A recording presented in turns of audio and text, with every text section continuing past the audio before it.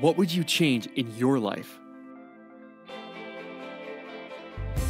What if you could unleash the miraculous in your everyday life?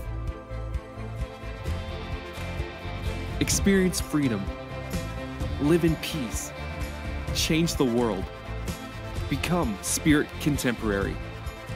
Join Leon Fontaine, world renowned conference speaker, senior pastor of Canada's fastest growing church, and CEO of Canada's only Christian TV station. Today on the Spirit Contemporary Life. All of our external behavior comes from beliefs.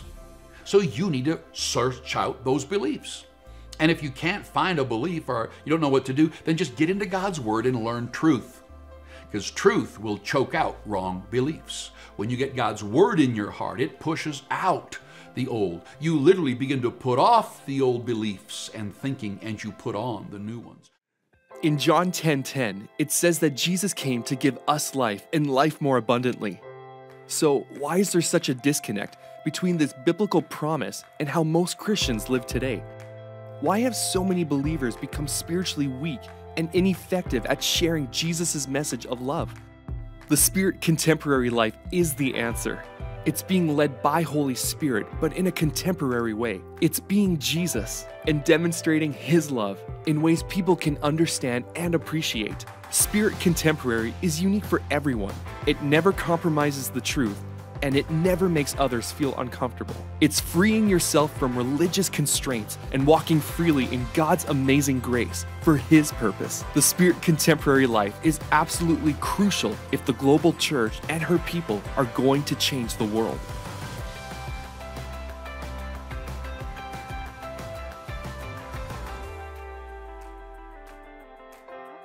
And now, from Calgary, Canada, Pastor Leon Fontaine. Hey, everybody, it is so good to have you with me today. Today, I want to just start talking to you again. We've been talking about the spirit of faith and how it just seems like, you know, years ago, there was a resurgence of teaching on faith and how that we each individually have to use our own faith how that faith is a very individual thing, and, and it really impacted our lives and the lives of friends and family around us. But as I travel around the world, it's a topic that people have kind of sheared away from because they haven't figured it out or it wouldn't work for them, they think. And, and people don't even want to hear about, in some cases, faith. And so we last time we talked a little bit about a lot about this spirit of faith and how that there's always going to be a push against your faith. There's always going to be things, thoughts attacking your mind to make you give up on faith because this spirit of faith must be maintained by renewing your mind, uh, by spending time in God's Word. And we live in a world so focused on movies and social media and things that really have no eternal value. Use them for fun and for pleasure a little bit of your day, but then where's your time with God and your time in the Word? And it scares me getting around a lot of the new generations who do love God, even pastors and leaders uh, who think marketing is more powerful than God's word. Hey, marketing's got its place, so does branding and all the rest, but you better not have more marketing than product. Uh, so, this product, I mean, this person is Jesus on the inside of us and what he will do in our lives. So, listen close today. I'm going to take you on a journey of a new way to think because many of us adhere to our ways of thinking from our past. And the Bible is so clear in Ephesians 4 put off that old way of thinking and put on new attitudes, new theories, new principles, and make sure that they're Jesus' ways of thinking, etc. In Isaiah 53 1, Isaiah says this Who would have believed what we heard or this message? And you kind of go, What message? Well, all of Isaiah 53 begins to talk about Jesus. It is a prophecy of him dying, rising again, dealing with sickness and sin and disease, the curse of the law. I mean, it is all the whole chapter is a prophecy about how we can live in the victory of Jesus even when we aren't victorious. How that he qualifies us for righteousness. He qualifies us for every miracle. Every I mean, this chapter is what the apostle Paul and so many pulled from, uh, and many other places, when they taught the New Testament. The New Testament is really a rewrite of all of the prophetic promises in the Old Testament and put into a beautiful order to explain what Jesus did. Because everything Jesus did when he walked the planet was recorded pretty much in the Old Testament. And so Isaiah is about to share the most amazing chapter. He's prophetically to say this, and he starts out with, Who's going to believe this? And that's what I find when I travel and speak across denominations and countries and, and churches is people go, okay, that's like a fairy tale gospel, and life isn't that simple, it isn't that easy, it can't be that good. And it is. It is. The uh, Isaiah, it, as he is prophesying this, he starts out with this verse. Who's going to believe this? It was so powerful but simple that many of the Jews, when Jesus first was there and the apostles were, t- didn't believe. Now, many did. When it comes over to the Gentiles, many Gentiles believed and many didn't. You see, once truth comes to you, you as an individual have to choose do I believe this or do I not believe this? And the Bible's very clear. It says, and you shall know the truth. And the truth that you know, the word know there doesn't mean just, oh, I got a few more uh, bits of information. No, no, no. The truth that you make yours. You know, to know someone is to know them. And even in the Old Testament, to know someone is that is the intimate lovemaking between a man and his wife and a wife and her husband, and to know them. And the Bible says that it's the truth that you know that'll set you free. If you want to walk in a spirit of faith, you want to rise up, you've got to choose. What am I going to listen to? Who am I going to believe? Isaiah says, Who's going to believe this? Often, when you sense truth, but you're struggling to believe, you have to choose to believe it. You have to choose. And if you don't choose to believe, then, you know, you're, you're choosing to believe something else. And whose truth is that that you're believe, believing? If it's your own five senses, you're in trouble because the five senses only give us knowledge from the physical world, not the spiritual world, God's world out there. Uh, and so, who are you going to believe?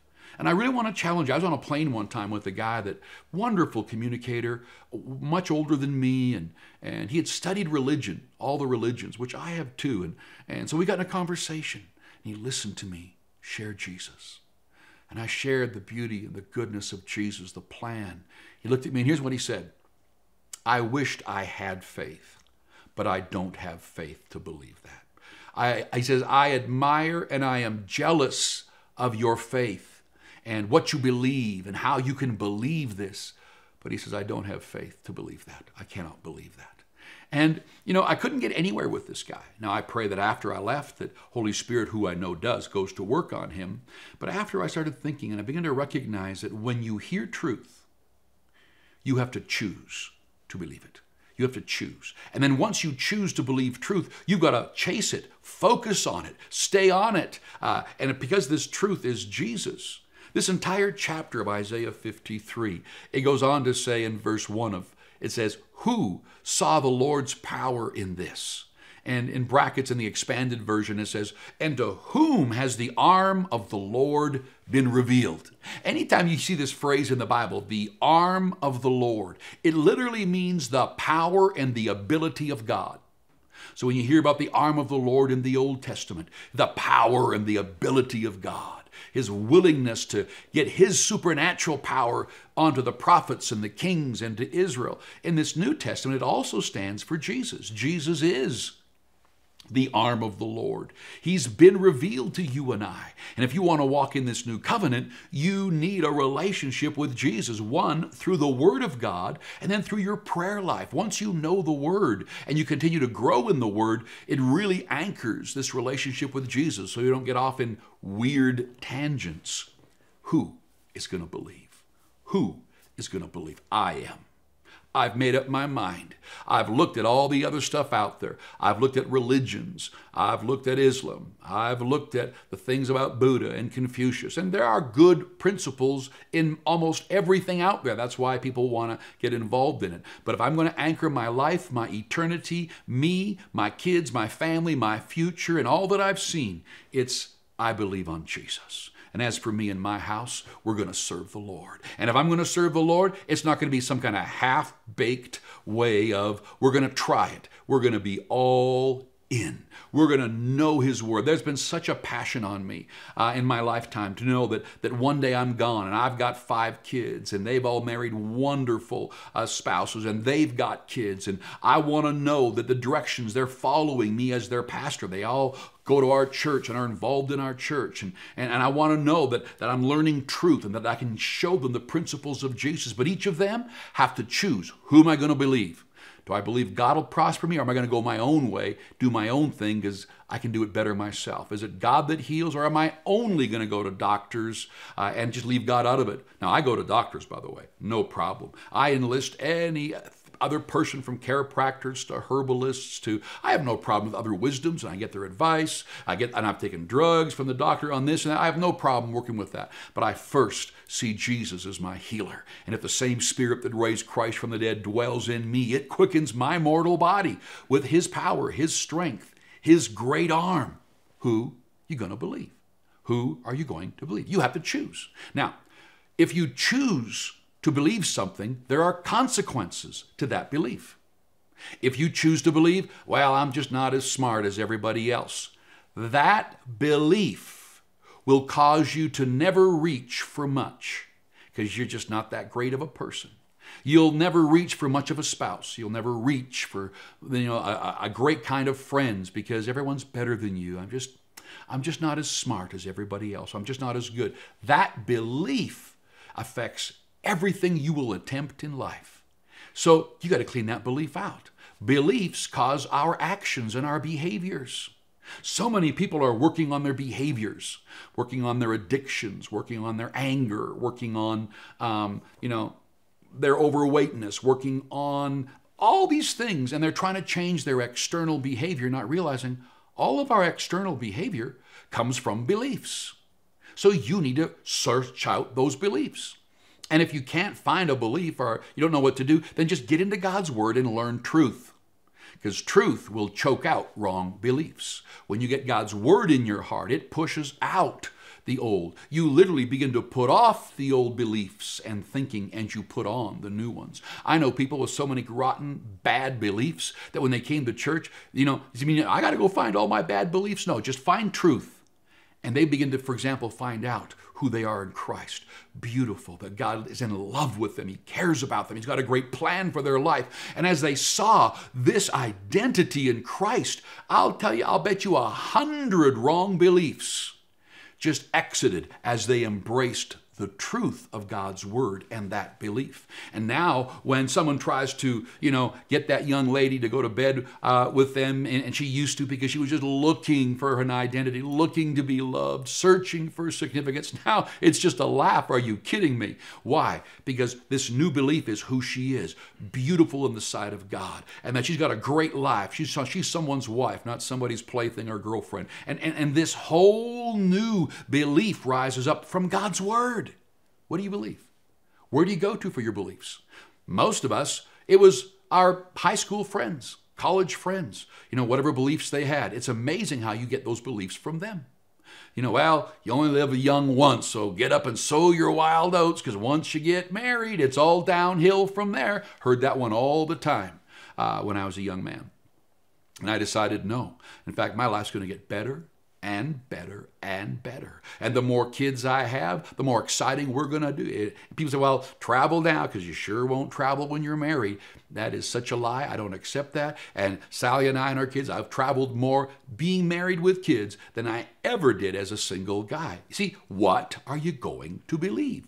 And once you begin to believe the theories of your, your addicted friends or your partier friends, or, you know, that's why when things are going wrong in your life, don't go talk. Someone said to me, Well, I had a great talk with a guy who went through a divorce because I'm, I'm going through a divorce and we're thinking about divorce, and he was so much help. I'm going, Are you kidding me? Go find another man who's made a marriage work and then talk with him before you pull the pin talking to somebody who's had a divorce uh, yes there can be wisdom from people who've gone through it on how to go through it but listen before you pull the, the pin on it and say no go talk to people with wisdom who do we look to for our beliefs the bible is a book on principles of what to believe about yourself what to believe about God, what to believe about the devil. What do you believe about God? Some believe that God's a hard taskmaster, that God might not keep his word because he's quote unquote sovereign. It's a real teaching today that, you know, because God's sovereign, I know he promised to heal you, but he doesn't have to. I know he promised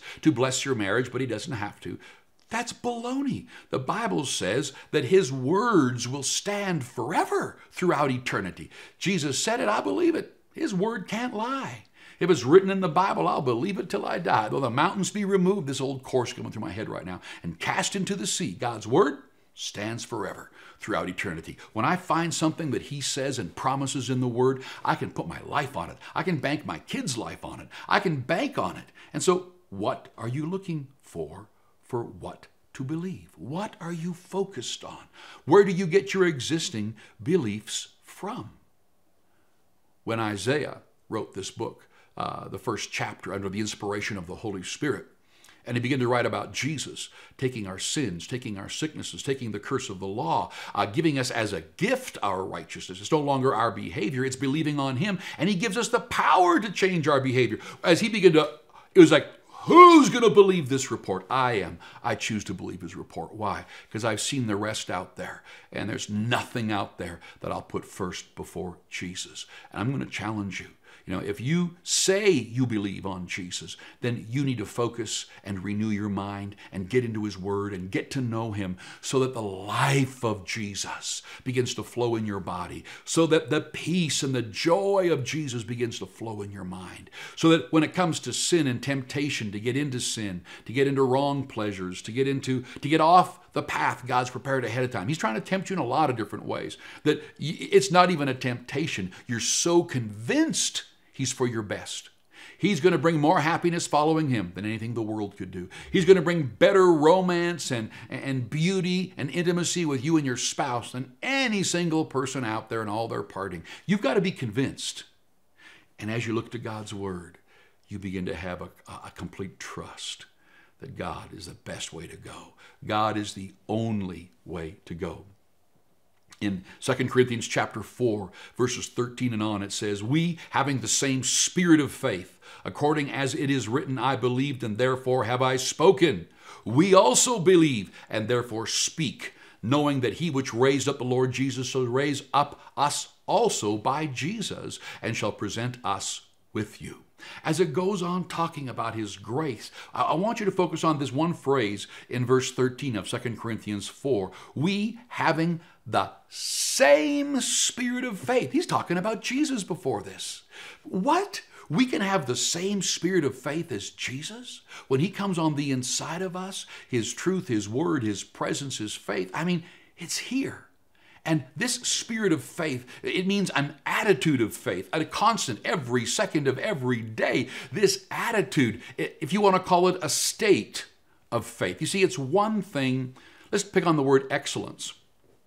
It's one thing to shoot for excellence in something that you do, but excellence is a state in some people. There's, it's an attitude of excellence, a spirit of excellence, a state. A state is something you're continually in, but a goal is something you just shoot for once. So if I hire a staff for one of our organizations that we're running and uh, they set some goals to do it with excellence, I get concerned because I just don't want them because this goal they'll do it with excellence, that goal they might not because it's not important to them. But a person with an attitude of excellence, a spirit of excellence. They live in a state. They're con- it's like water. You know, H2O can be in a frozen state, in a steamed state, or in a liquid state. And so if you go up way up north, man, there's icebergs up way up there that've been in a state of frozen for like a century or two. What state are you in? In other words, what is your attitude? What is your spirit? What, what is the state that you're walking in? I've chosen to believe.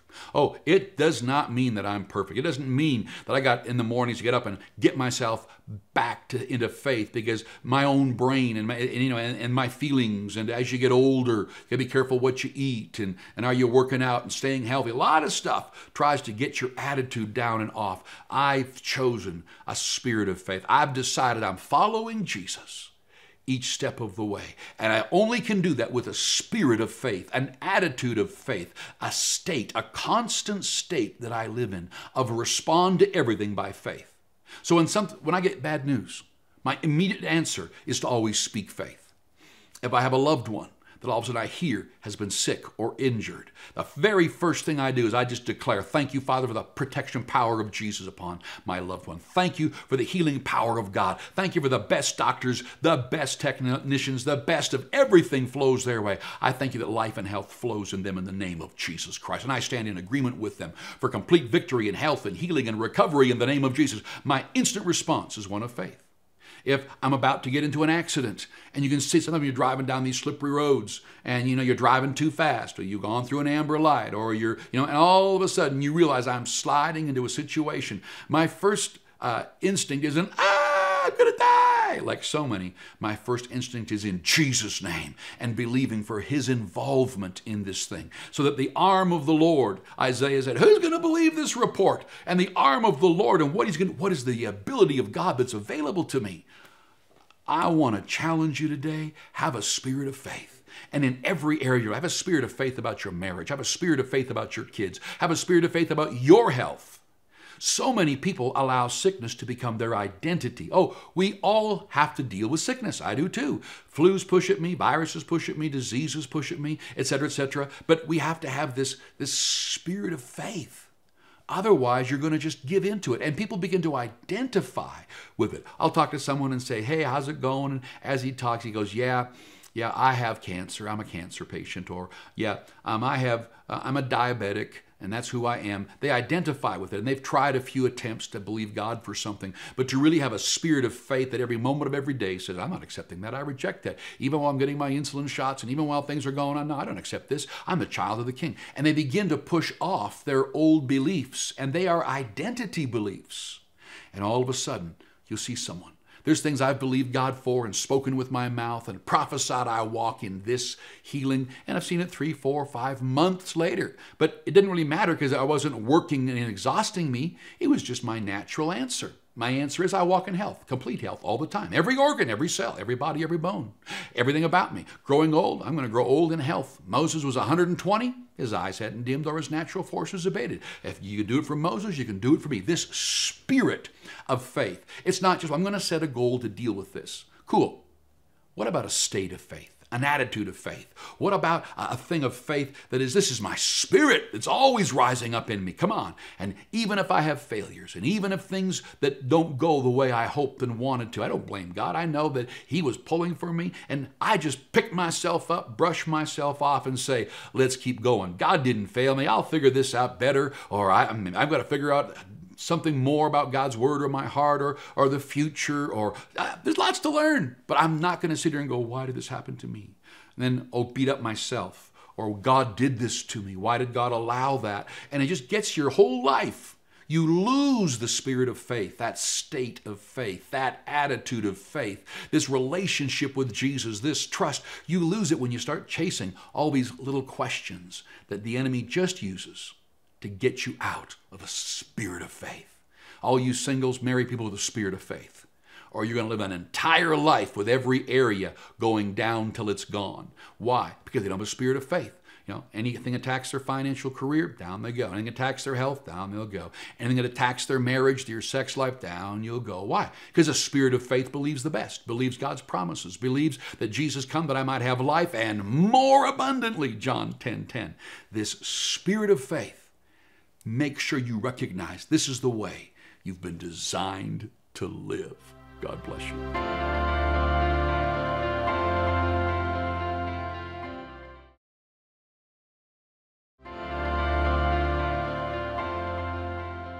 You know, reality is quite the word. You know, people often say, oh, be realistic, Leon, when I begin to talk about what God can do for me.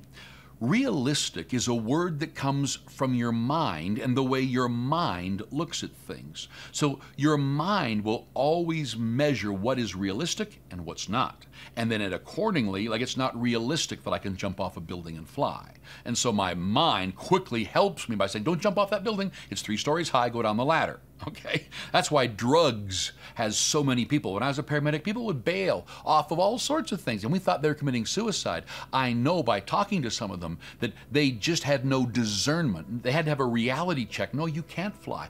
One guy told me, I can fly. He said, Well, no, you're all busted up. So, reality. But yet, as a believer, when you're going through something and the doctors have said it's impossible, you can say, I'm going to begin to believe God. I've done what I can. That you know, that's unrealistic. It is. It's unrealistic to the reasoning mind. It's unrealistic to natural help. But the supernatural help is now yours. Father, I pray right now that they would begin to believe in you and that when life has not, no way of them winning or succeeding or beating what's going on, that they would look to you and that, Father, your reality is superior to ours. I pray you touch them right now in the middle of this situation. Amen.